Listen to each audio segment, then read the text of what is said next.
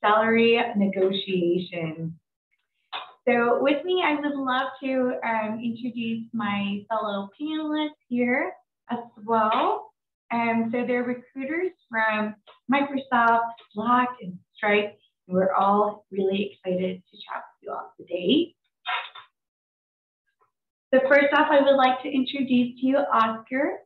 Oscar, will you go ahead and introduce yourself? Sorry, I couldn't find the unmute button, but here it is. Hi, everyone. My name is Oscar. I am a recruiter at Microsoft. I'm actually a UCSD alum. I graduated in 2014 from uh, Sixth College. And um, I currently work with the conferences and events programs at Microsoft. And uh, my team's uh, goal is to be able to increase uh, representation of women, uh, Latinx talent, and Black talent at Microsoft, specifically in technical roles. Beautiful. Thank you, Oscar. Thanks for being here. And next up, I would like to introduce you all Megan from Stripe. Megan, will you please share with us a little bit about yourself and your role? Yeah. Hi, Megan. Um, also UCSD alum. I graduated in 2017, also from Sixth College. Um, I'm currently at Stripe. I've been here for one month, so still very new in onboarding. Uh, going to be working on recruiting for the risk product and strategy org prior to Stripe, I was at Robinhood for about three years, recruiting for lots of things within the non technical side of the house, from finance to workplace, physical security, um, a lot of things in between there as well. So excited to be here. Beautiful. Thanks for joining us. And last but not least, I would like to introduce you all to Luke from Slack. Yes, thank you for having us, Katie. My name is Luke. I'm at Slack. I'm a recruiting manager. My focus is on leadership positions for customer success and services. So anything that's customer success guides and implementation. Um, I have about 10 years recruiting experience, most of it in smaller startup companies, right around 500 to 1,000, and then joined Slack about a year ago because it's Slack. It's one of the greatest companies in the world. Love it, love it. Well, we're going to go ahead and jump right into our our presentation today, our Q&A, because we do have a lot of good questions, but please, please utilize the Q&A feature on this webinar as well. If you have some questions, we would love to hear it, and I would love to be able to ask the recruiters. Um, so please utilize that throughout the presentation um, whenever, whenever a question pops into your head. But in the meantime, I'm going to jump into my own questions that I've prepared for them.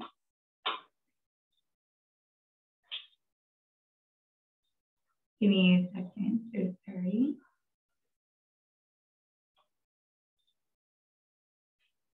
All right.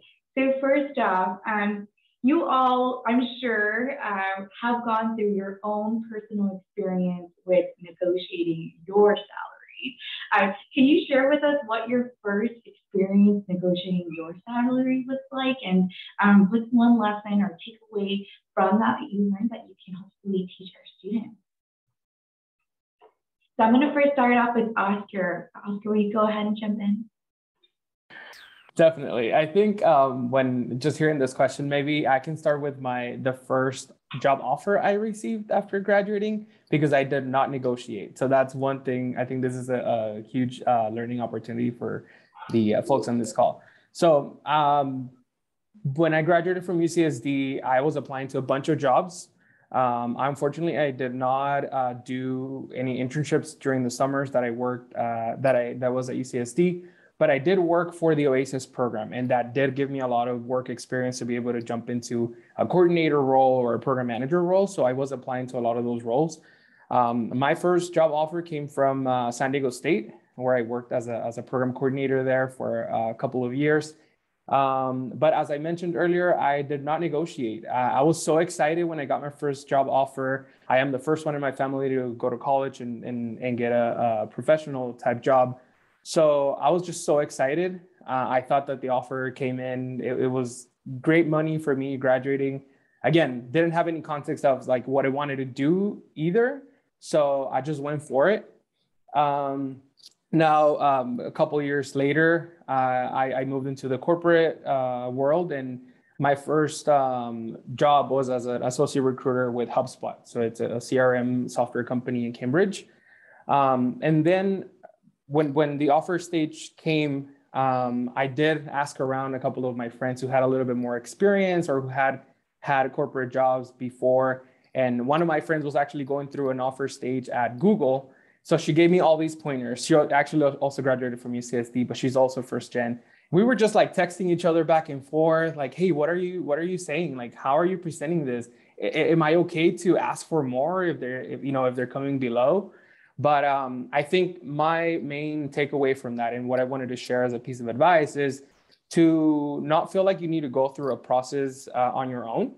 Um, you most likely will have peers who are getting job offers. You may have uh, either family members or classmates who've gone through that as well. So I would definitely encourage you to not sit with that. If you have questions, ask them um, because that's something I didn't do my first time around. Um, so definitely uh, something that you know I'll be able to share moving forward to fellow um, yeah, fresh graduates or first gens that are getting the first offers out there. So um, feel empowered to do so.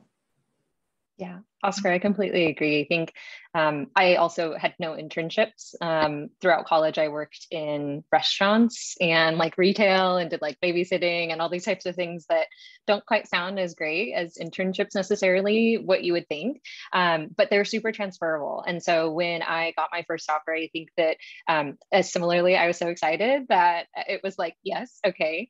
Um, I think in the negotiating side, like uh, setting up front like my expectations, I think that the thing that I look back on is that I often said like, I'd love to be at this number, but I'll be okay with being at this number. That's like quite a bit lower. And it's sort of like immediately selling yourself short. Um, so I think what I've learned from that is saying like where you want to be and just sticking to that and not worrying quite as much that you have to like say like this is my bottom line or like this is how low I'll go because you're kind of then just like basically showing all your cards right at the start. Um, so I think that that was my biggest takeaway. And then moving forward from there and negotiating um, was quite a bit different. I think just like having that other side of, of the experience.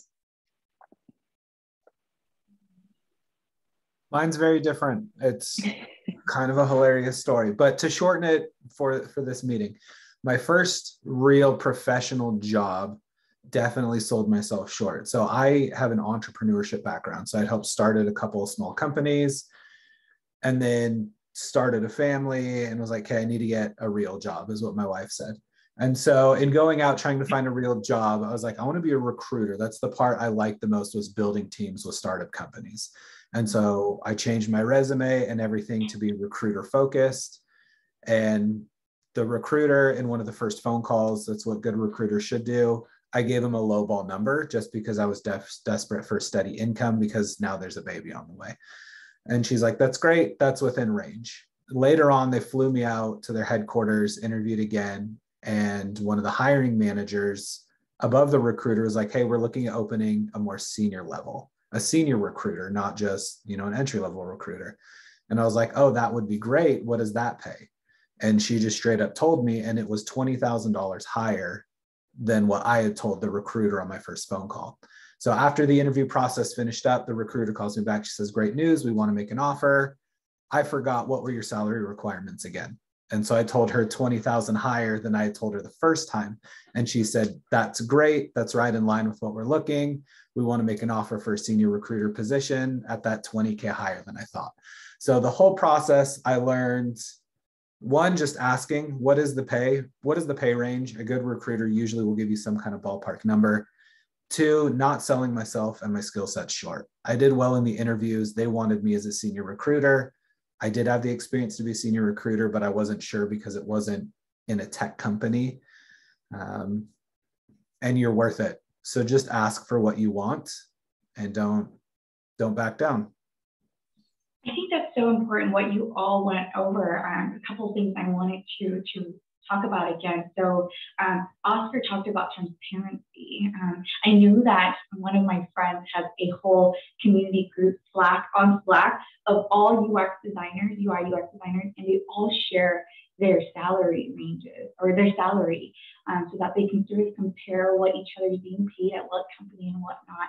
And Megan, of course, went over really, really important parts about um, she didn't have any internships and she came from um, positions such as uh, working as a server in retail. Um, so even students now, if I know a lot of students are feeling intense pressure right now to get some internship experience.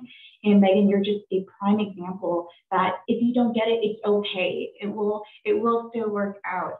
Um, and Luke, I totally agree with the salary. Um, sometimes knowing knowing that salary range of what they what they can offer you is really important, or else you're going to be outside of that of that range, right? And we're going to go over a couple of um, those areas again um, in other questions, but actually we have a lot of good questions that the attendees have posted in here, so I do want to make sure we answer those as well.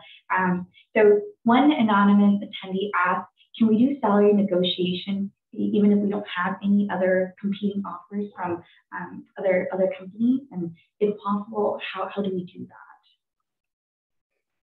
Yeah, absolutely. Uh, you don't necessarily have to have a competing offer. You don't necessarily have to be talking about your current compensation as a basis.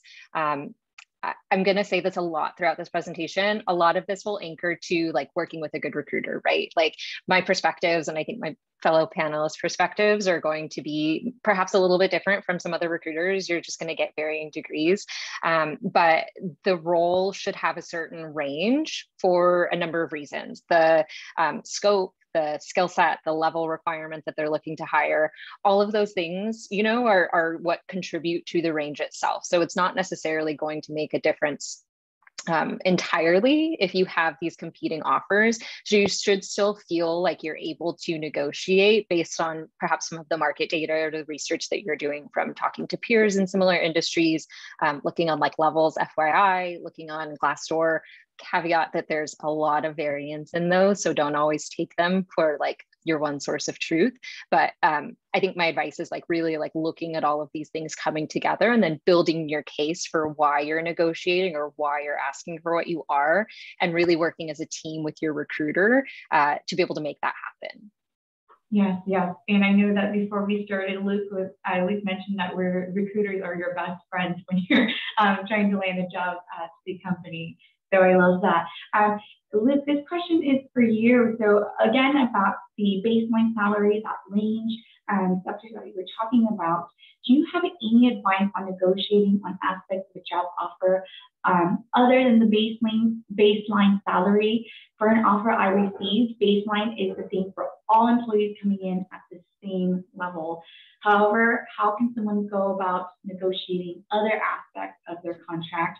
For example, paid time off, a signing bonus, perhaps even a relocation allowance? There's a lot of layers to this one. Um, again, being very upfront with the recruiter and pushing them to get direct answers, not vague answers. But yes, there are positions that there will be no negotiating for.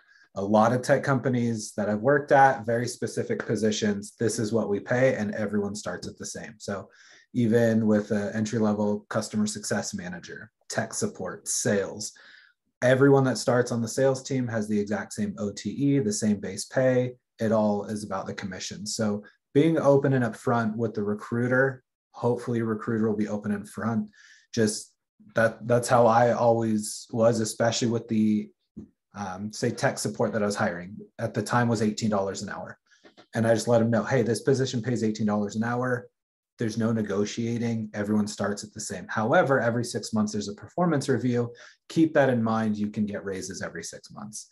Um, extra pto i have negotiated that for candidates because we were maxed out on everything else. That one usually is not an easier lever to pull. Most companies now are going to unlimited pto and it gets really sticky when Josh has 20 days of PTO and everyone else has 10. It's it's something that's talked about more than a base pay, where usually people don't talk about pay with their with their coworkers. Um, other things that yes, you should always push for sign-on bonus. Always ask for a sign-on bonus. Um, you can. The worst they'll say is no, um, and then stock and equity. Again, the recruiter should give you some kind of guardrails or guidelines to work with in the beginning letting them know what is available. And so some of my positions, I let them know equity is not available for this position. Mm-hmm. But if you're a really good candidate, we can try and get your base up higher than our original discussion. So I hope that answered the question. Yeah, definitely. I like that. Um, so the next question, I know some of our attendees asked it in the Q&A, so I, they're, they're definitely curious about this part. Uh, when should one negotiate their salary? Is there ever a time when you shouldn't negotiate? And is it acceptable to negotiate later in the role? And I do want to add in some attendees are wondering if they can negotiate like midway through um, their their position or if they're an intern, can they negotiate? Uh, so hopefully um, those, that wasn't too many questions all at once that I'm shooting at you. Um, but Oscar, you can chime in for this question. I would love that. Yeah, this is a loaded question, so I may just be able to answer uh, first part of it. But I think I actually used to recruit for sales roles, and uh, knowing that you know the uh, sales folks have the ability to close you right from the get-go is like one of the skills that I actually learned as a recruiter. So there's a saying that they use always be closing uh, and always setting the right expectations from the beginning, right? So I feel like I learned a lot from our our sales uh, account executives there.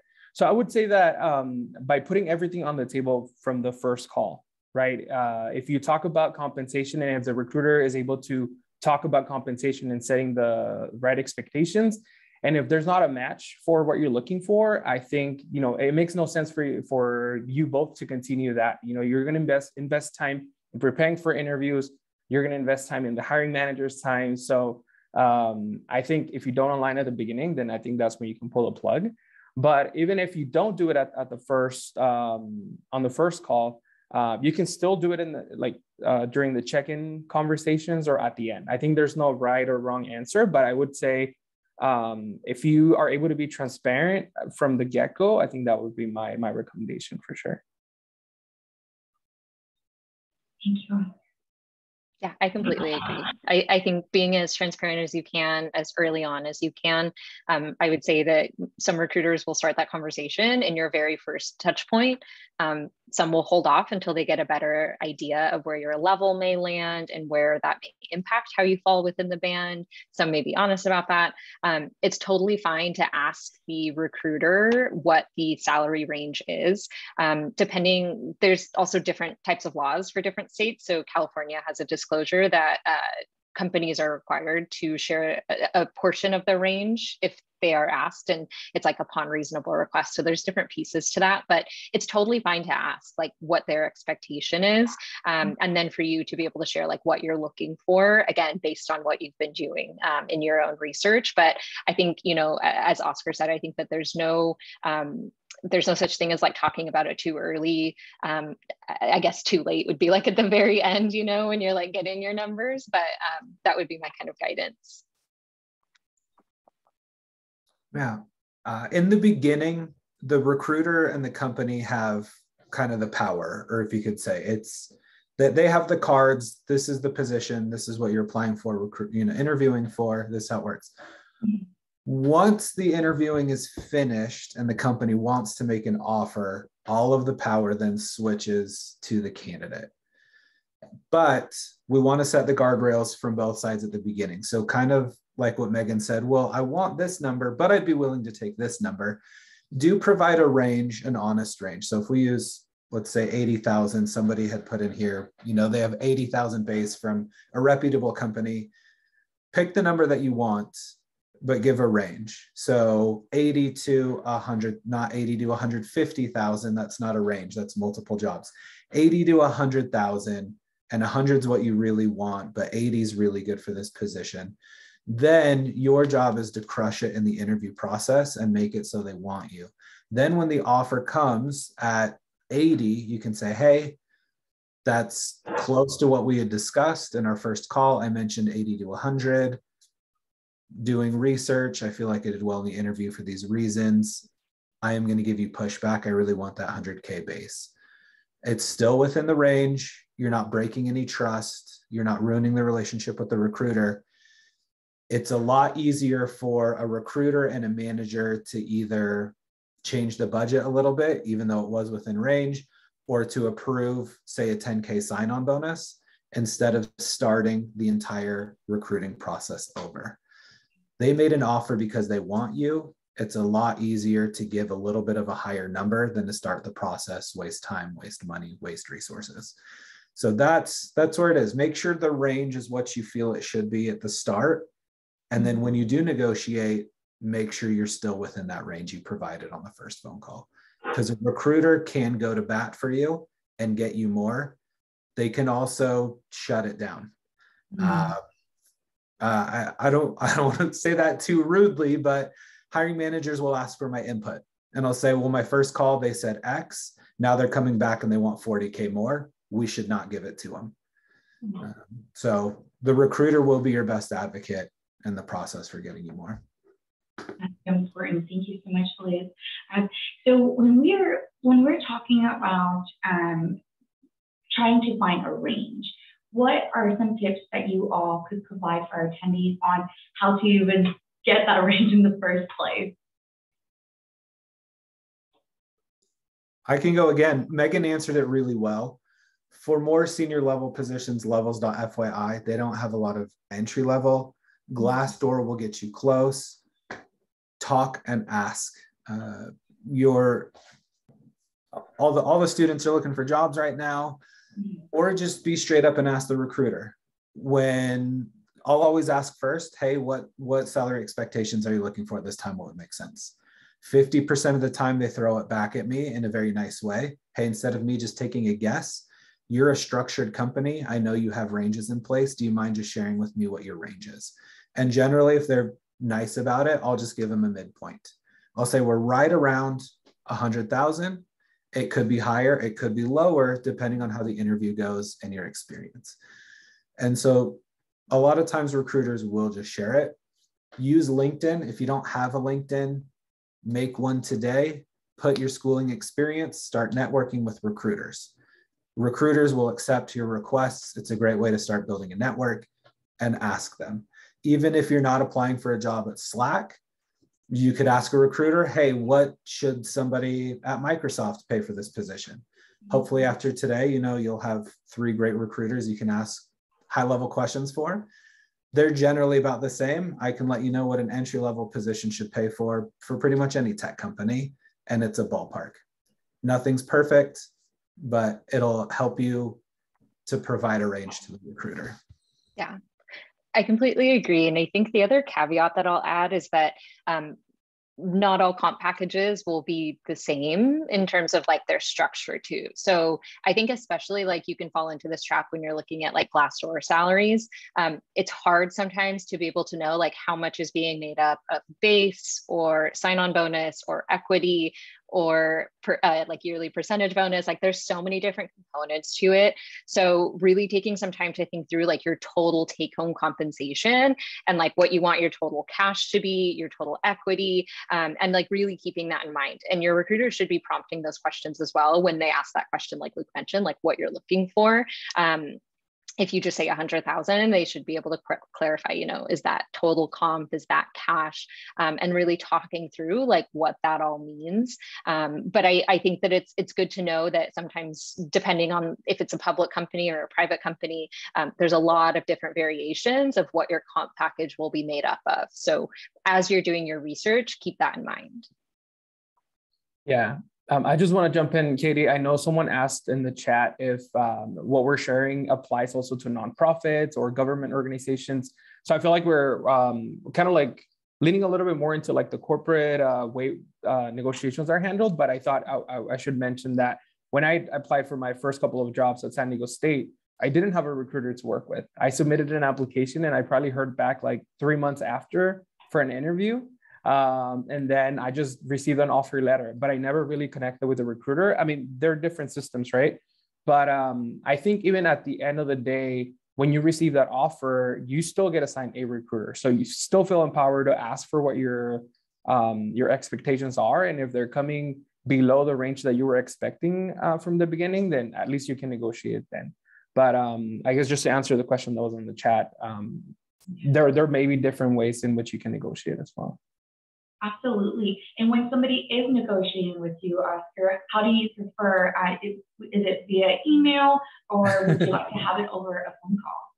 Yeah, I actually prefer, prefer uh, phone calls. Um, I've actually negotiated myself for positions that I've interviewed for, and mm-hmm. I've received generic emails as responses.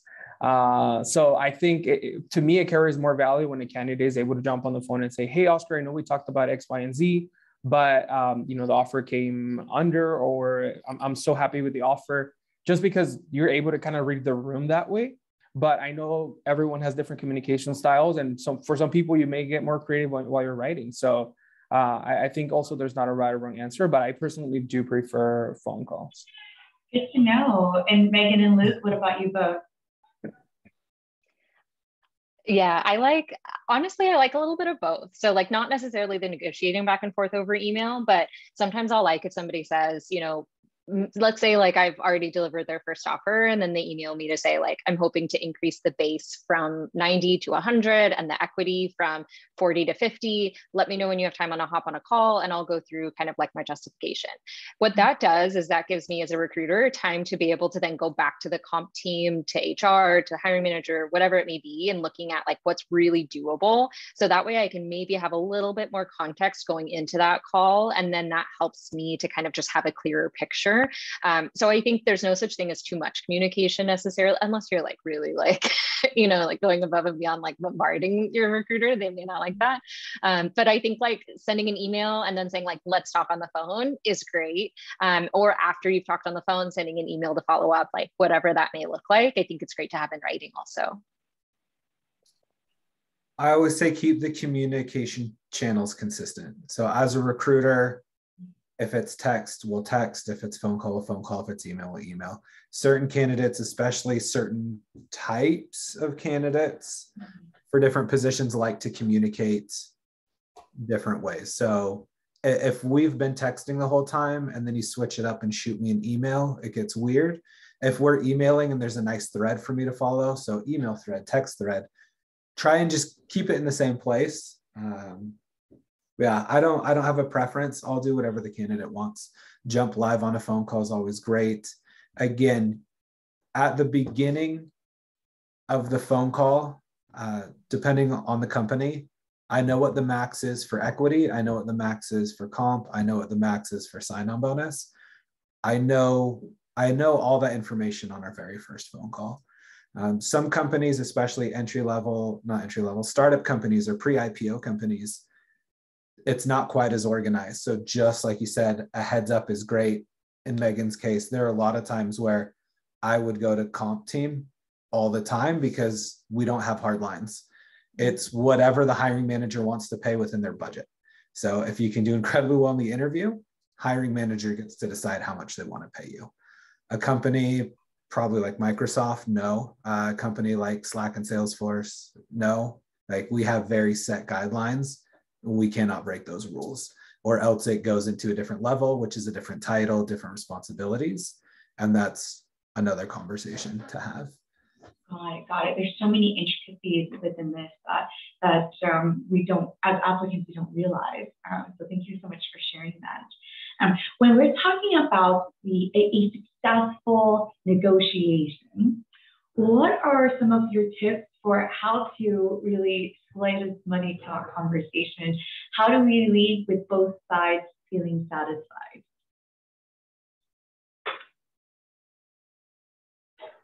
Don't break the guardrails. I know we had talked, and I may be jumping ahead in the questions, but like the good negotiation versus the bad negotiation, like if you give a range on the first phone call, the recruiter's writing it down. And so when we get to the offer, we're going to figure out where to fall within that line. The recruiter doesn't care if we max it out because it's not our money. It's the company. Like our job is to get you a job. We want to help. But if we start off phone call one and you tell me your range is 80 to 100 and then i come back and say hey we maxed it out. We want to offer you 100 and they're like great i want 130 mm-hmm. like the trust is broken. The experience is bad. Mm-hmm. it's i still have to go back to the hiring manager and say hey they want 130 now it gets weird, it gets messy. And so that's where you got to do the research up front, talk to the recruiter, talk to your friends, and figure out where the guide rails are. They're there to help everyone. And then there's maybe a little bit of wiggle room, like we talked about with the sign on bonus. Um, if we do get to the final offer, it is okay to say, hey, I got a competing offer that's higher. I don't mind sharing it with you. But if you could match it, I would really love to be at your company there's no trust break in. You did, I don't feel like you lied to me, but it's a mm-hmm. very competitive market and talent is rare. if you have a competing offer, usually they'll try and go to bat and up something, pull some lever that we can to match the offer. And so continue conversations with multiple companies until you pick the one that you want. A competing offer is one of the best pieces of leverage. Don't falsify that, but if you do have a competing offer, it's okay to share that.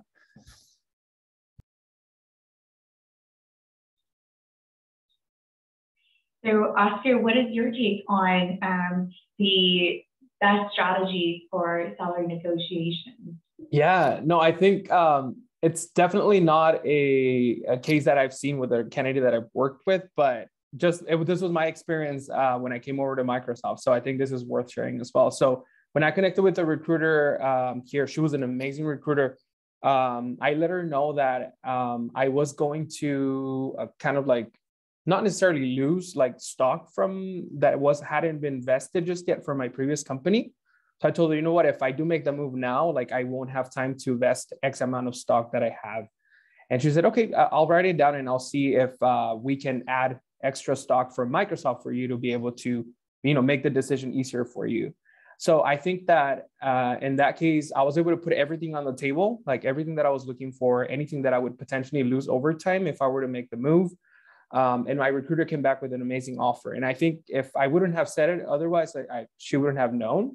But mm-hmm. I think uh, as, as long as you remain transparent and you pretty much say, you know what, this is what I'm kind of feeling, like this would make me think twice about us accepting this offer. Um, a good recruiter is going to listen to you and is going to go bad for you, as Luke mentioned. I, I like that. I like that. Being aware of um, what are the, the cons of leaving your position and then sharing exactly. that with them Mm-hmm. I noticed a question from Larry. Yeah. Uh, I just wanted to make sure that gets addressed. It looked really important. Mm-hmm. It said, thanks for mentioning the California law about disclosing salary if candidate asks. Because um, they were saying they wouldn't tell them what the range was until after the four stage interview. That that sounds terrible to me. Um, California state law, the recruiters cannot ask how much you make.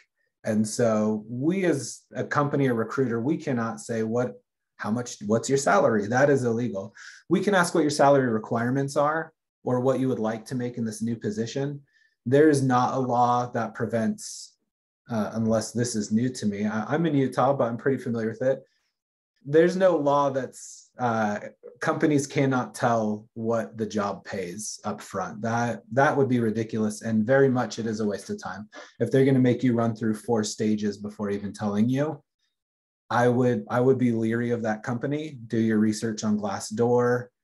Um, if red flags come up in the recruiting process, there's probably going to be something else in the company that's not as organized as well. And that's outside of maybe you have a bad recruiter. The company could still be good, but mm-hmm. things like that that are company policy, very odd.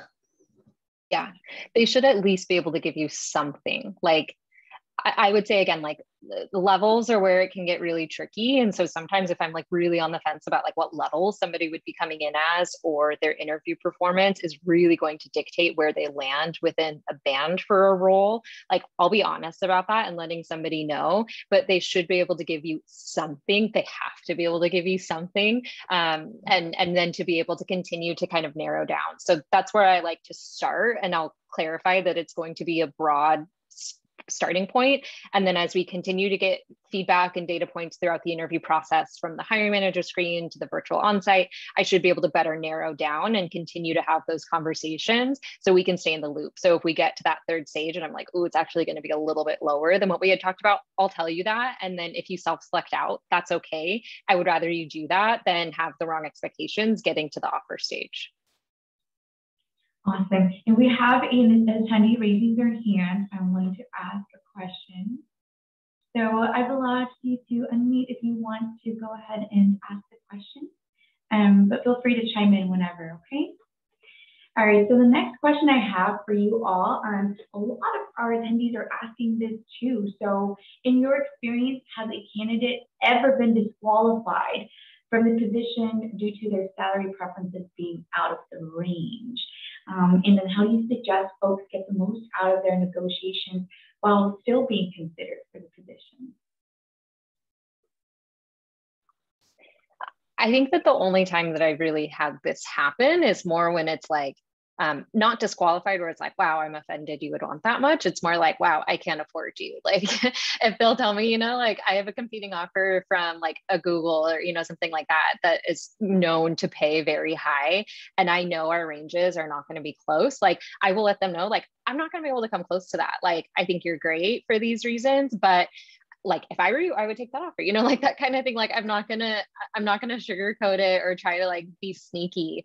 Um, so I'll be honest with somebody if I tell them like, we can't afford that range and that's unfortunate. If you're comfortable continuing in the process and willing to you know flex in some of these other areas if you think about the upside of equity sometimes you get more equity but a lower base. Um, you know sometimes there's a greater opportunity for career uh, acceleration or um, you know maybe more promotions or leadership opportunities. It depends on what you're really optimizing for in those cases so you have to think about it holistically but i've never just flat out disqualified somebody like in that that own kind of decision of like them asking for too much money. I think Megan, you bring up a really great point, and I think I don't think it's deviating from the uh, compensation uh, conversation. But for example, when I was recruiting for entry level sales positions, uh, there was, as Luke mentioned, there was no uh, negotiating room there. But our first promo happened at the six month mark, so for someone who wanted to go to uh, another company or who decided to go to another company that paid three thousand dollars more uh, to start off, and then when when we came to offer stage to compare, uh, I would be very clear to them saying, you know what, at the six month mark, you would have your first opportunity to to promote, uh, and that would bring you up to uh, this amount, right? So I think also looking at the career trajectory and where that could take you like a little bit more immediately uh, especially for junior or entry level roles. I think that also um, can come into play when making a decision of where to where to end up. I think you're muted, Katie. Oh my, oh. yeah, my mine is the same though. If I'm if someone's salary request is outside my range, I will be very upfront and tell them what the max is. Um, I hire a lot of technical architects. That's like one of the hottest positions right now, especially in California. And the, it can pay 200,000, it can pay 500,000. Like, I don't know until I get on the phone and they'll be like, oh, well, I expect 500,000. Great. Here is the absolute max I can offer you. And I will just show them all of my cards. Here's our max base. Here's our max sign on bonus. Here's our max equity. Are we close enough? Like, do you want to be at Slack bad enough that you're willing to make that cut and leave it to the candidate? I'll never go through an interview and then just deny someone because of pay without them knowing it's pay. Like that's not a it's not a touchy subject for a recruiter. We talk about numbers all day. There's no emotion. Like we'll just share it. Uh, if it's you know they struggled with the tech or they really had a terrible interview because they were not like that's harder feedback for us to give than oh you just want too much money I'll always say, hey, your ask is too high, but this is what I can offer. That's a decision you need to make. And then just like Megan said, they will self they'll self drop out or they'll take the cut to join that kind of a company. I like that. Um, so most of our attendees here are, are students um, in our webinar today. How do you recommend students with little professional experience negotiate I, I know we have a lot of students asking, can they negotiate internships? Um, can they negotiate later on after they've started their internship or their, their job? Uh, and what if they're recent graduates too? Uh, so what are some things that they can, that you recommend them leveraging in order to have a successful negotiation?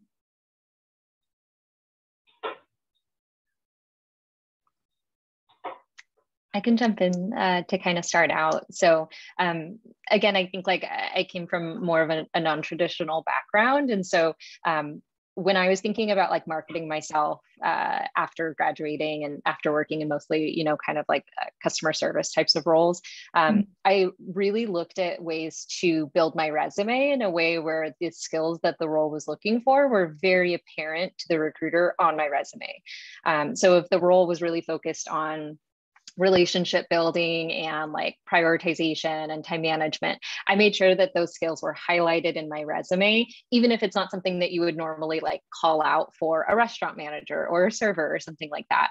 Um, I think that makes it quite a bit easier then for you to be able to justify if and when you get to that point in the process in the negotiation. Um, you should always aim i mean this is probably you all know like to do the best as you can in your interview performance but a really strong interview performance can make a recruiter's job quite a bit easier in getting more of those bumps in their salary ranges um, because like luke said they want you at that point so, really investing in those interviews, preparing for them as much as you can, asking questions for interview prep, like really making sure that you're ready to go into those and like knock it out of the park makes it a lot easier. And then in that, justifying with your rationale, um, whether it be like technical experience, hard skills, soft skills, um, you know, whatever else that may be, like bringing in the rationale of why you're asking for something. Um, if somebody just says, you know, I want this number like willy nilly and doesn't provide any other kind of um, justification, it's a lot harder for me then to go back to comp or whoever it is and say, like,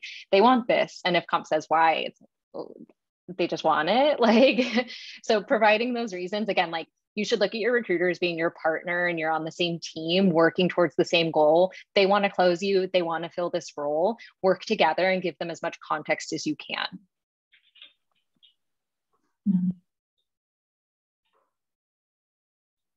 So um, our next question, so we have a lot of folks asking about competing offers.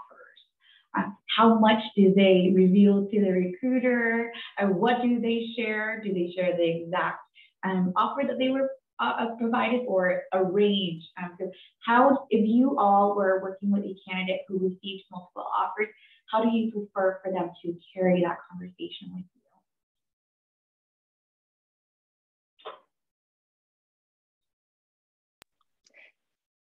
Do you want to go, Oscar? sure. Uh, I would say uh, go go with what you feel. I think um, if you feel like you want to share and be super transparent, and that's going to make your recruiter because you're going to get a sense of like how the recruiter feels as you go through the process, and you'll know if they're going to go back for you or not. But if you feel like you know what, if I share that I got this competing offer that's 10k alone, 10 10k higher than what they're offering, and, and feel you want to share it, I think I would say go for it. Um, if you also just want to share a range, uh, you know, go for it as well. And then also think of um, compensation as a as a or salary as a total compensation. If they're offering, for example, uh, tuition reimbursement, right, and that other company is not offering it, feel free to throw that in as well. That that might give the recruiter a little bit more leverage to when they go back, as Megan mentioned, when they go back to comp and they say, you know what, like this other company is offering 10k a year for tuition reimbursement. Like, how can we up our uh, restricted stock units a little bit higher? So I think the I don't want to say the more you share is the more leverage your recruiter is going to have to go back for you for sure. Luke, any insight you can share on that? No, my audio cut out a little bit when you were asking the question. So I was guessing what the question was based on Megan and Oscar's answers. No worries. It's about like if a candidate has competing offers, uh, how much should they reveal to you? Um, should they give you the exact offer that they were provided, or should they give you a range? And how do they come off being really like respectful and polite, um, but also sharing that?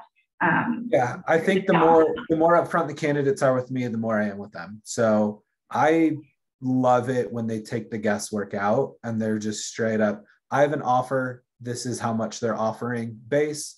This is how much equity this is how much of a sign-on bonus. And then there's no guessing. It's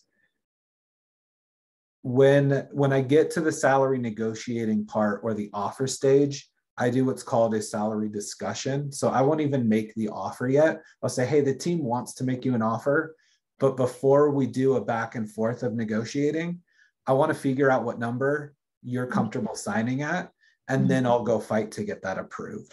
So when we talked in our first call you said 100,000. Is that still where you're at or has something changed? So I'll give them a, a, chance to say, well, I did more market research or I have a competing offer that, you know, we're in the interview process. And usually they say, nope, 100,000 is still where I'm at. Great. I can get that approved for you. If you're happy signing it, I'll get it done. Or they'll go, you know, I gave you a range. I would like to be higher at that 120 mark. And then I just I pre-commit them, always be closing. And I say, great, if I can get the 120 with the 10K sign-on bonus, do you feel good about signing it? And then when they give me that soft yes, then I go back and I run it through finance because finance has to do the approvals. And then there's none of this, okay, they came back at 130. Okay, well, they can do 110. Well, they said 120. It's just so much time. And so, yeah, if you can tell me exactly what the competing offer is, and if we can match it, you'll sign. I'll go get it matched if I can. Try and do everything up and up. There's not a lot of shadiness um, with structured corporate companies. Like, like not to use the term guardrail again. Apparently, that's coming up a lot in this, but like we really have those in place. It, there's not a lot of shady business. Like, I'm not going to make more money if I get you a smaller offer and save the company 10K. Like, that doesn't happen. I've never seen that before. Um, yeah, we're not trying to pull one over on the candidate. We want what's best for the candidate. If we underpay, if we somehow think it's a success to get you the cheapest offer you can, you're going to leave in a few months when you find out everybody else makes more. Like these discussions are how do we try and keep everybody um, what's called pay disparity. We don't want pay disparity on teams. Yeah. I completely agree. it starts over it costs more money. Yeah. Yeah, yeah. I think like music to my ears is when I'm in offer negotiation and somebody says like if you can get me this number I'll sign. Like that's the best thing that I can hear. And then it's it's like the best thing also to be able to tell finance or to tell comp um, you know because that, and and then I think that's my advice for like the worst thing that you could do is saying that and then they get it and then you go back on it. Like you've shot that trust and credibility and rapport that you've built with your recruiter. Um, and then i think like it, some companies will i've heard not from my own experience but i've heard from different folks that sometimes they want to see your actual competing offer.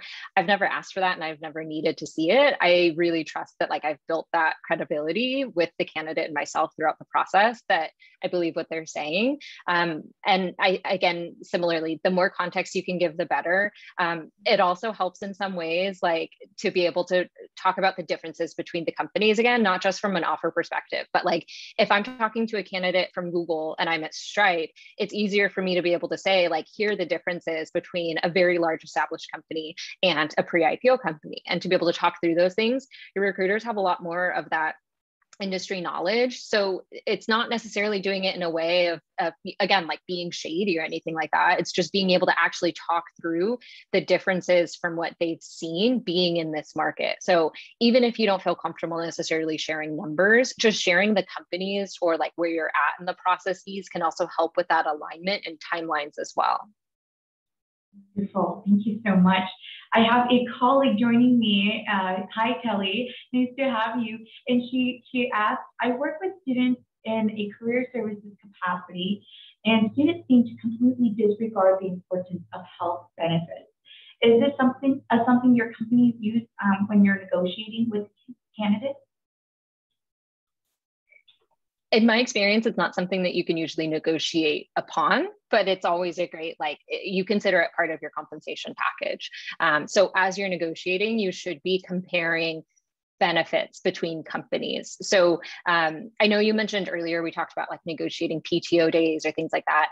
In my mm-hmm. experience, I've never been able to negotiate benefits in that way. Um, but what can work is if you have a competing offer from somebody that's offering um, you know 100% of your medical premiums are paid and at your company it's only 90% maybe you can use that as leverage to justify a sign on um, or something like that to kind of make up that difference. Um, but you should really be comparing the differences between your benefits packages um, especially in tech there's a lot of benefits so really be thorough in looking through that even if it's like um, you know an internet stipend while we're working remotely. If it's a covid work from home like remote setup stipend like there's tons of these different types of things. I wouldn't recommend getting so nitty gritty and comparing every single like line item one to one but if it's a big ticket item that's really important to you you should feel comfortable bringing that up and talking about the differences with your recruiter. Absolutely was yeah. So our part of our compensation package, probably same you know, Stripe and, and Microsoft. 401k match can be huge to some people, and it's everything, even though it's in the end, it's about five thousand uh, dollars, give or take. But they want to know, and that's fine. Like Slack, we do a one for one match. So you put in one dollar, we put in one dollar. It caps at about six thousand dollars. Some companies will only do a fifty percent match. So if it really matters that much to you, there is going to be some math where, okay, well they offer up to six thousand, but it's only fifty percent match. Okay, you now have to put in twelve thousand dollars to get a six thousand dollar 401k match. Is that really even something that you're going to be willing to do at this stage? or with the salary is put up 12,000 a year into a 401k. Uh, tuition reimbursement. Slack does about $6,000 in continuing education. If you want to get certifications for coding boot camps or just go back to school, um, what does the PTO look like? How many days do you not have to work that you're actually getting paid for? Uh, we reimburse $100 a month for wellness. If you want to go to the chiropractor, massages, gym, even things like golf, like they'll comp 100 and they'll pay $50 for my internet. They'll pay, you know, a thousand dollars for me to build an at-home office because I'm a remote employee. Like that's a big ticket item. Totally get where Megan's coming from. Some candidates want to get in the weeds and really add it all up. What's important to you? That's what you need to fight for. Wonderful. Thank you so much. So we're almost nearing the end, but we're going to try to sneak in some more questions. I see we have so many questions, but we're going to do our best to hit um, just a couple more before we end. Um, I knew that somebody asked, um, you know, if, if the person you are negotiating with is the hiring manager, and I know Luke, you earlier you mentioned this, um, and, and if you don't have a recruiter that will go to bat for you, how should you navigate this conversation with the direct hiring manager? It's the exact same as the recruiter. mm-hmm. This is the range I want. This is why. This is what the market shows. It, it's no different than having a middleman, you could say, a recruiter. Uh, the negotiation will be the same. Gotcha. Gotcha. And Oscar, this next question is for you. Can folks negotiate again after accepting the offer? I know we brushed this a little bit in the beginning, but they said say another offer with a larger number comes in after accepting the current offer. Is it okay to ask the current position to match that? I wouldn't say it, it wouldn't hurt to ask. But my answer as a, as a recruiter for the roles that I work with is once you sign, you know, you agree to the terms. It's actually a contract, not a contract, but it's a, a an agreement that you're signing. Um, but you never know. What if it's a, a, a startup who has a lot more uh, like leniency to to add extra um, a compensation at the end of the day, or you know, you never know which um, company you're interviewing with. But I wouldn't say it wouldn't hurt to ask, even if already signed, but chances are that they may not. Thank you. And we have Nicole asking for you all to share your insight on her situation right now. Let's say you have an offer from a very well-known company for 80K base with a 10K sign-on bonus, and they say that the 80K is non-negotiable since it is their starting salary for someone starting out from college. And you have another offer for 95K from a less well-known company with a 10% end of year bonus, um, which one would you choose? And I know I feel like this is like, it depends on your circumstance and what you're willing to be flexible with, but could you all chime in a little bit about that? I think there's so much more context that you need to also be like thinking about, and that all three of us will probably be asking you with this. And so, like, maybe questions to ask yourself. Um, like I mentioned earlier, I think it's really important to think about like your career trajectory as well. Um, so, thinking about like what those leadership opportunities are like, um, maybe what the like leveling experience may be like, um, I think there's pros and cons to being at a well-known company and to being at a startup. Um, in some cases, you get quite a bit more scope or you know opportunities to work directly with leadership. You have a lot more of that room for like accelerated growth. In larger companies, you may have a much wider network of folks to be able to learn from and to really grow your base from. Um, so I think if it's like purely a compensation question, that's one thing if you're optimizing for top dollar it sounds like you know you would know which one um, mm-hmm. but if you're really looking at some of these other pieces like there's a lot more to kind of make a complete decision i would uh, I was gonna say I'd use it as leverage. Be very upfront. What do you want?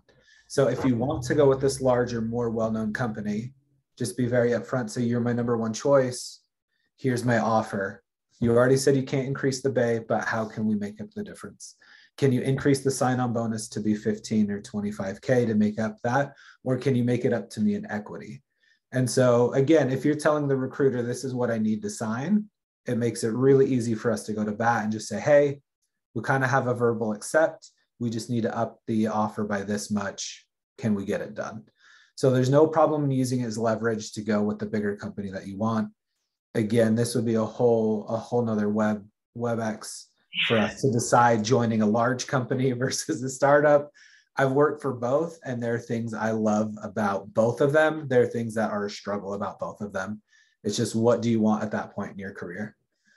And that seems to be a message that's popping up with you all in your responses a lot is that there's so many other things that come into play when you're considering what this company's offering you other than just the salary itself. So that's a great reminder for our attendees that it's not just about the pay, it's about the PTO, the benefits, the work culture, the professional development, and all that. So thank you so much for sharing that with our students. I'm going to sneak in one last question, and it's about remote work. Um, so how does one negotiate around remote work? Is there sort, sort of um, parameters of how much you can uh, offer for folks working remotely, or the same for um, remote and in-person folks? Um, and so, yeah, like uh, commute costs do, do determine how much of the negotiated salary you get to keep. This also varies quite a bit. Um, some roles have to be tied to an office. Some roles have flexibility to be in office a few days a week. Um, at Robinhood, given that we had quite a bit of um, financial regulatory compliance, we had to have some roles within a commutable distance. So it's going to vary, um, but it's always something that you should be talking about in the first call, even if the recruiter's not talking about it. Um, and I would say again, like in in some cases, they will include things like um, you know a stipend for your remote work setup or an internet stipend or different types of things but there's again going to be pros and cons to both.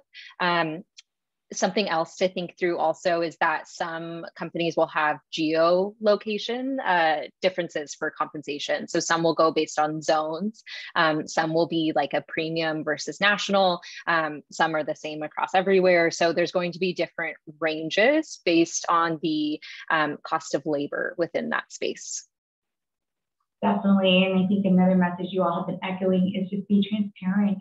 Chat with your recruiter, communicate. Um, and uh, uh, your recruiter is your best friend throughout this process. So be real with them and, of course, express um, your needs and wants.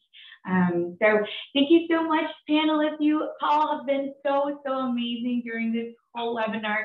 I really appreciate the insight you've shared. And to our attendees, we had so many questions. I think at one point I saw like over 40 questions in our Q&A, not including our chat. So I'm so sorry if we didn't get to your question, but I would love to continue this conversation in the future. Definitely stay on top of our Career Center events um, should we host a round two. But in the meantime, here are our contact info, our LinkedIn. We invite you to connect with us on LinkedIn and of course continue this chat outside of this webinar. Thank you so much for attending everybody. Thank you everyone. Thank you.